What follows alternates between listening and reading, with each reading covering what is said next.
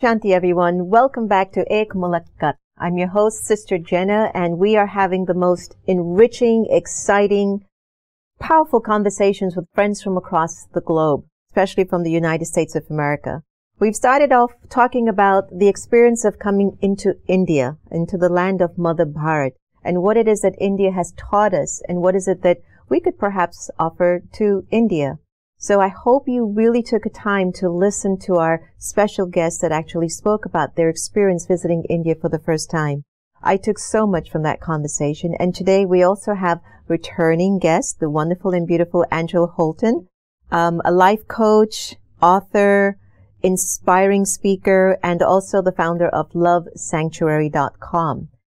And also joining us for the first time is pastologist, which is also some, this, it's someone who does psychology and ministry. Yes. Yes. That's amazing. Yes.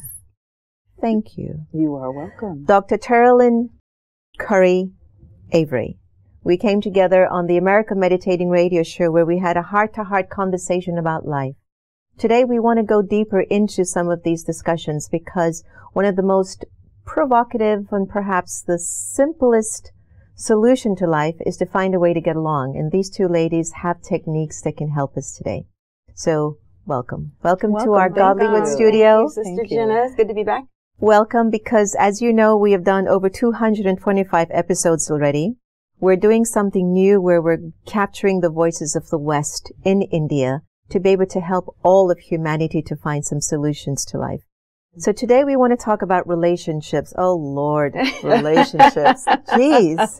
You know, it's funny because it's the same stairway you take to go up and it's the same stairway you take Yes. to come down. Yes. And relationships can make you feel so happy and they can make you pull out your Mm, hair. mm, So, mm. where do we begin today? Because in America, um, a lot of individuals in India consider Americans um, that they're very quick to divorce each other, that they're very um, quick to have multiple relationships. And in Indian culture, you're sort of married until death you really do part. Mm-hmm. Um, a lot of that is changing nowadays and against the traditional norm of the society. However, there might be very good pluses in that because why should you stay in a marriage that you're being abused Mhm. just because of Mhm. tradition, Mhm. right? So let's talk about, um, firstly, when you even think of the word relationship, what comes to mind? What is your understanding of what relationship means? Angela, let's start with you. Teacher, relationships, and you know, they're a mere reflection of myself.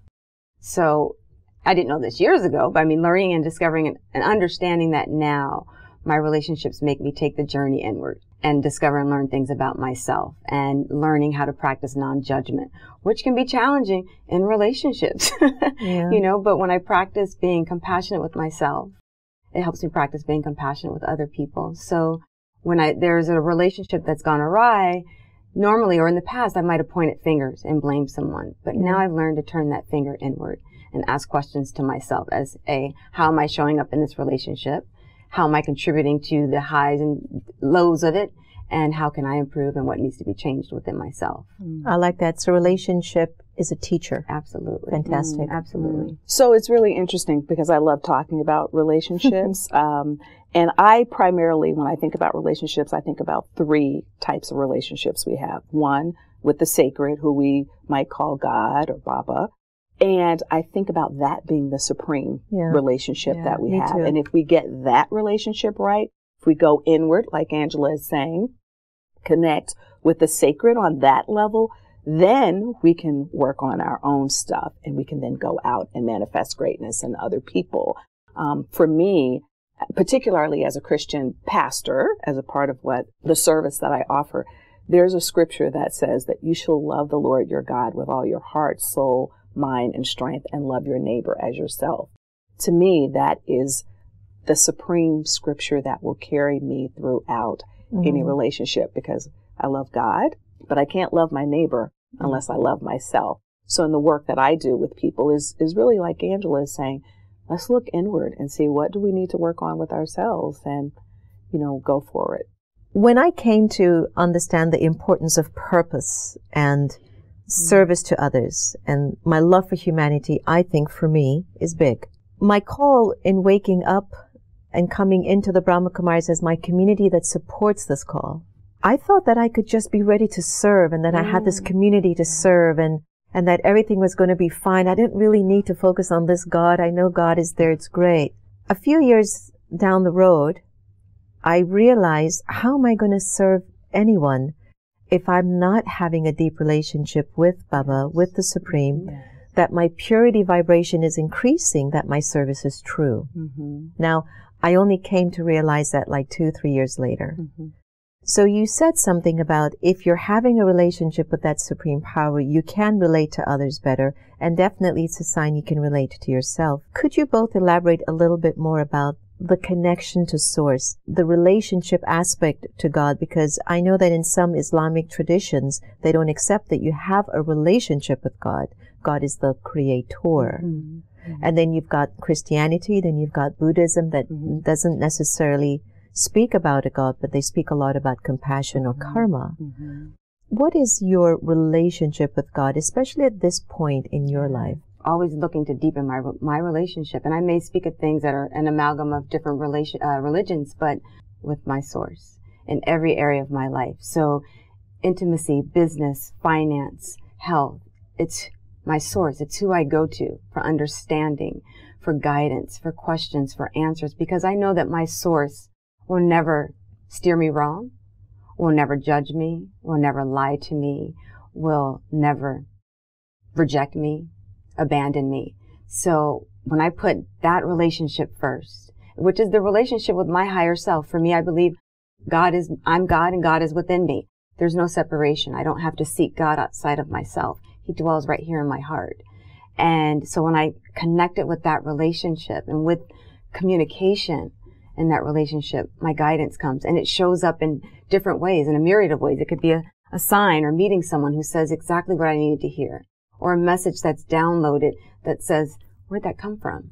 Or a miracle or synchronicity that shows up, hmm. you know, um, right at the right time. And I know when those things are showing up that I'm in alignment with that relationship, that connection, that partnership. And one of the things I ask for every day is show me more of our partnership. Can I get some clarity on this thing? Because a lot of us say that God is in us, yeah. right? Is he in me when I'm upset? Angry, yeah. jealous, mm-hmm. revengeful? I think so. Mm-hmm. Because I believe Source created those emotions. So I don't think he abandons us when we are having those lower vibration emotions than when we're feeling high and joyful and gracious and full of gratitude. I think he's part of all of it and expects us to lean on him during those moments as well because they all serve as teachers, all those emotions. And I think jealousy is one of those emotions that people abandon the most.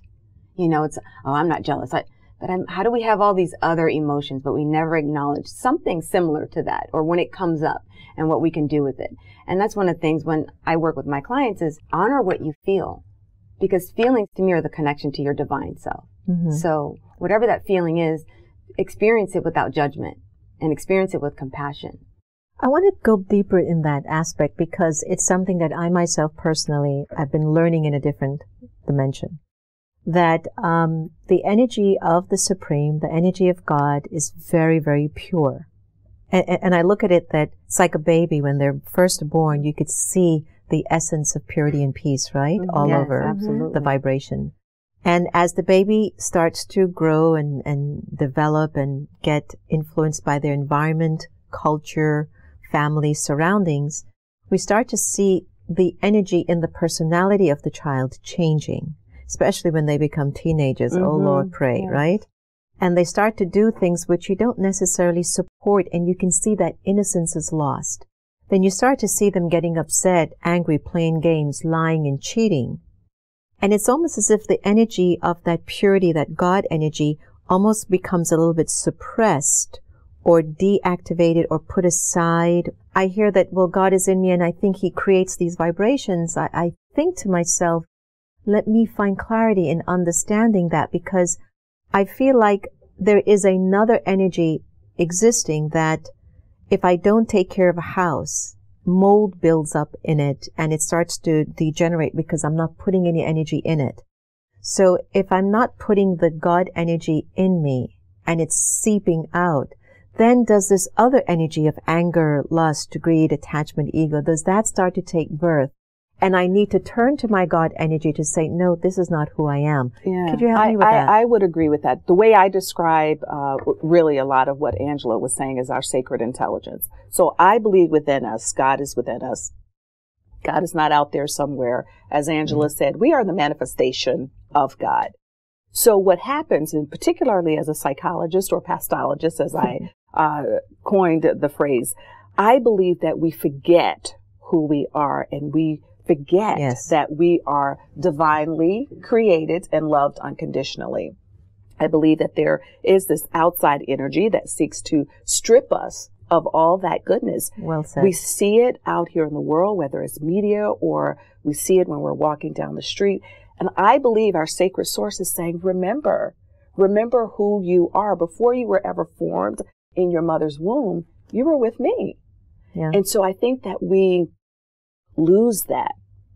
And we're called to remember that. So what I teach people to do is to tap into that sacred intelligence. So when I'm upset, so let's say we're talking about a relationship, I have to remember in each moment, and I oh, daughters, but there's one in particular that we, you know, who, who's as a teenager, She's your you know, teacher. she is definitely my teacher because what I have to say in that mm-hmm. moment is, are you living your highest self in this moment? Yeah. And so that reminds me to tap into the best of who I am. But if I say, forget that highest self today, the highest self is still in there, but I'm choosing to not tap into it. I think also, I mean, you're a psychology major. I also studied psychology. If you've ever spent time with babies, right, you see that a ch- baby will cry and get angry When it needs visibly angry something. when it when it has a need that it wants met, Mhm. right? And babies will even bite.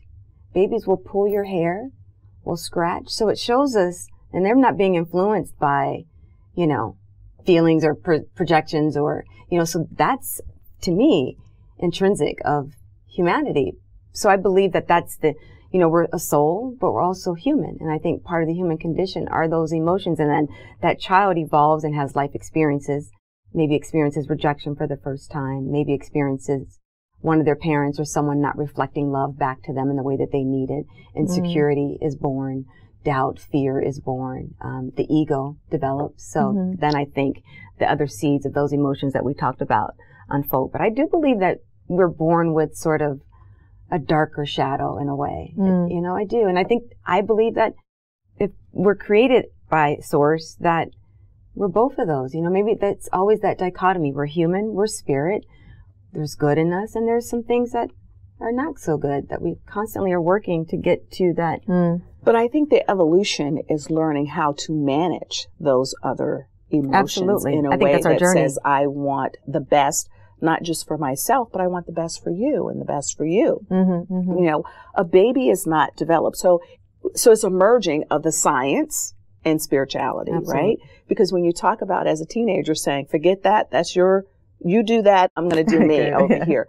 Developmentally, our brains are not even in full form until we're about 25 or 27. Yeah. Right, right. So we have to consider all of those things as well. We we can't even receive that spiritual transformations, most of us, yeah, yeah. because we're not there yet. We're not developed. Well, you know, interesting because as we explored this relationship with God, um, a few years ago, I ended up listening to a class by one of our senior yogis, Sister Sudesh. The title was on like the divine connection. Can I tell you that I listened honestly to that class at least 80 times? Mm. And the reason why I listened to it so much is that it was so spot on because at the end of my seventh and ninth listening of that class, I realized God was a very pure Mm. energy. And it wasn't Christian, it wasn't Brahma Kumaris, it wasn't Jewish, it wasn't Buddhist, it wasn't Islam. It was a pure energy that I'm being called to have a rekindling of a relationship with so I can show my best Mhm, of mhm. who I am. And I Mhm. think that we're now in this culture and in this age where everything is so fast that even when I'm trying to connect to God, okay, I did my two minutes, let's Mhm, move on. mhm. And I'm just wondering, how can we sustain relationships nowadays because we are getting so accustomed to doing everything so quickly with one another that even our hellos are like, hey, how you Mhm. doing? Hey, by the way, last night when I went back to our space, um, I met with Gracy Singh, who's an incredible dancer and a beautiful human being. She's been in the studio here quite a number of times. Gracy and I sat in the meditation room here and we spoke about the same thing about mm-hmm. having meaningful interactions with one another mm-hmm. so that we can start to express a God connection mm-hmm. rather than the superficial, what we call Brahma, uh, in the Brahma Kumaris, body conscious connection, where everything is so externally driven than internally driven. Mm-hmm. So, in what way can we sustain our relationship with God so that we can feel better about who we are? I think it's self awareness and mindfulness and that con- consistent meditation practice mm. and going inward and just being present. I think the more we're present uh, to our thoughts and our interactions and our engagements, and we choose higher conscious thoughts, you know, we're aware, we're being mindful, right? We know how to exercise that consciousness when we're interacting with people, when someone cuts us off on the road. not perfect, but, you know, we can exercise better choices when we stay mm-hmm. in that divine connection. And, you know, for me, my, one of my mantras and prayers each morning is to be, um, to be a beacon of light and to be an expression of God's love and wisdom and that each person that crosses my path, that there may be an exchange of love. I think what we need to do is make God a priority. And all too often, if, if we are in relationships, let's say if, if we are uh, in a romantic relationship, we want to call that person on the phone every day and we can't wait to see how their day was and we spend hours talking to them. That's early on in the relationship, but we don't really do that, that with God. I, you, you mm. hit it right on the nail right on the head when you said my two minutes. If I am serious about my relationship with God, not only am I spending time with God in the mornings or perhaps in the evenings, which a lot of people don't do because you're exhausted, but it really is about mindfully moving through to, through the day, tapping into source to say, is this of you? Is this something that I should be doing? Is this my ego getting in the way? Mm. Right? Algae, as you often talk about, right? Mm-hmm. It's really about staying just as connected as I would if I were talking to someone with whom I'm in a romantic relationship with. Yeah, if I want to talk to my husband about my kids. If something is going on with them, I'm going to check in with him. Mm. I need mm. to have that same practice of checking in with source to say, is this the right thing to do? Or even relating yeah. to God as teacher, as exactly. friend, right. as that's one of my favorite my relationship is friend. Right, right. God is friend. Where I can talk to God anything, just like I talk anything, to anybody else. Because if if I can speak to God in that way, I can speak to other people, right? Yeah in a very respectful way. Even when I'm saying, God, I don't understand this. I don't understand why I'm being guided to do X, Y, and Z. Yeah. Well, you know, right now in the United States of America, we feel like there's a godlessness going on. And um, I personally feel that we're being called to return to this energy more now than ever before. If you were to offer any suggestions as to how we can deepen the link to the source, what would that be? I think what I would say is what I value about being here is that God is brought into your morning routine, even with exercise oh, or yeah. the traffic control where you're stopping just to acknowledge um, the presence of purity mm-hmm. and consciousness. And I believe in America, if we would have those moments where we can stop regardless of whether you're you're Muslim or Christian or Jewish or Hindu, but you say collectively yeah. we share a humanity with one another and it's connected to source or for those people who don't choose to believe in a source to say it's just pure love that radiates. I think if we can begin to do that and if we can begin to go into leadership, can some of your decisions be guided by the love of humanity? I think we spread that love. And I and I believe it's really important for it to be a top down. I don't know why that touched me so much. Um, something went in. Did you feel that? I don't know. Um, I've been feeling that there is a need for this to transcend outside of India mm-hmm. and to America, where corporations, schools, businesses, places, malls yes. do this, pausing in the day and to remember the better aspect of our humanity, mm-hmm. to be able to bring that purity back to our humanity, that innocence that has been compromised because of just life.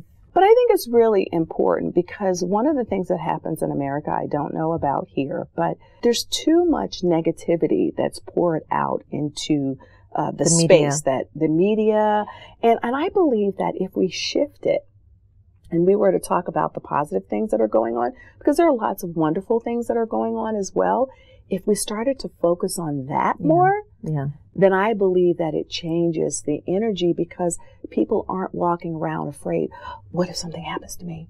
Or I have to get you before yeah. you get me. Mm-hmm. It's about, you look beautiful today. You know, I have a habit of if I see you in the store and I ask for your help for something, I would say, Hi, how are you? And it startles people they're not used to me ask or anyone saying, How are you? And I pause to wait for them to say how they're doing.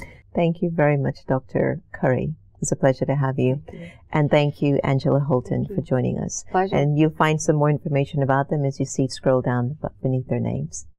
Take care of yourselves, everyone. We always appreciate when you can join us here at Ik Ek Mulakat so that you can actually rise, shine, become the bright lights that you are. It's not about dimming your light so that other people can shine, but it's about amplifying your light so everyone else around you shines. Mm-hmm. Take care, everyone, and Om Shanti.